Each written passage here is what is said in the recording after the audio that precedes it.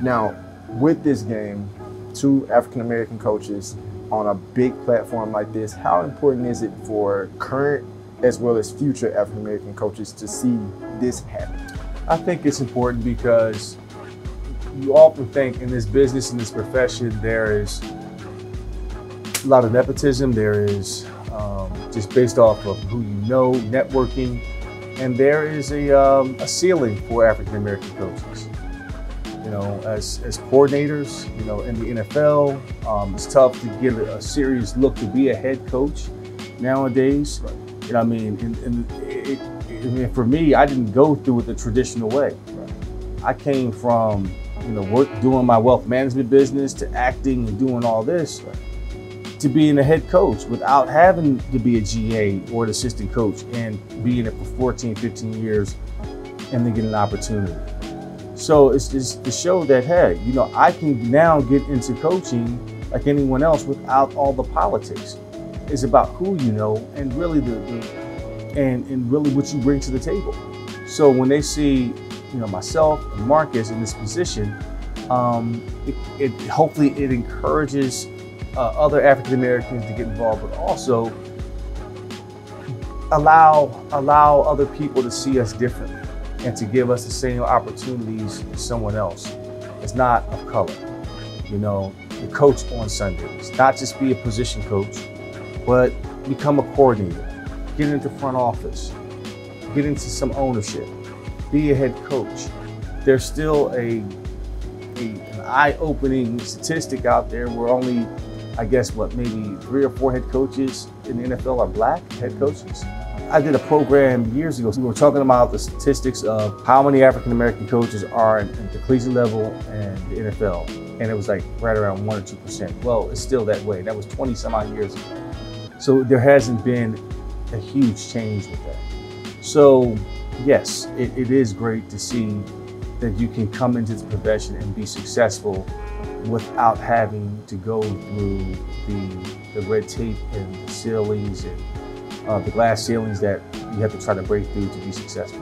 Kind of putting you on the spot, what do you think helps advocate or change the, the philosophy or the mindset of getting more African American coaches in these positions? Hire, you know, because to be in this position, you can say, okay, I checked the box in terms of of you know diversity and inclusion and equity and inclusion, but is that the right person for the room? That's very important. Um,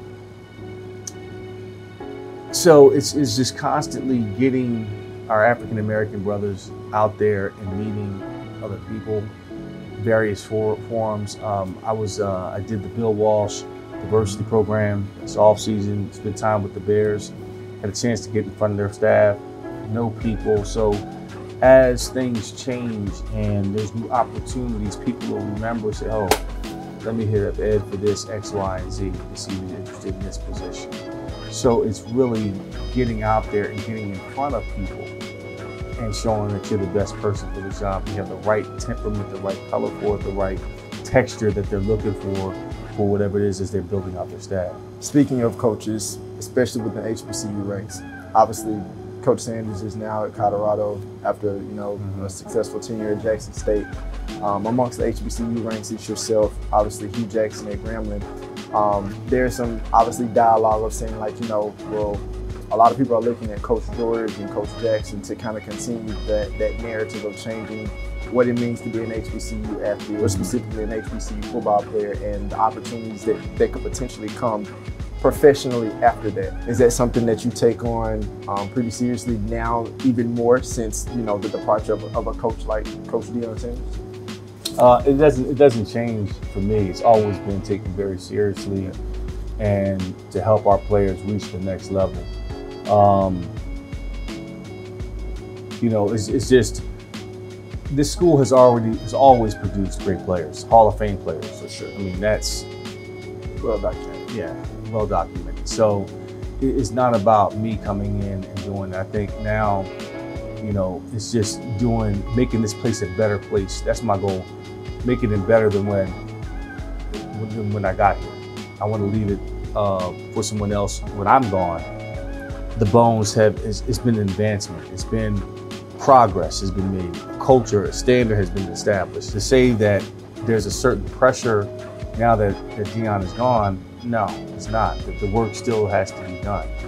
He's done all that he could do at Jackson State for, from his perspective. Now it's time for TC uh, to take it to another level, you know, in terms of that, that same requirement, the same standard, everything that, that Prime injected into them in the same way. So now, you know, moving it forward in the business realm, doing things correctly in their, their business doing dealings and um, making sure our kids graduate, making sure that they have the right things uh, from housing to their getting their money to um, all the things that the PWIs are that they get on a day-to-day basis. We should be able to establish that at any and every HBCU.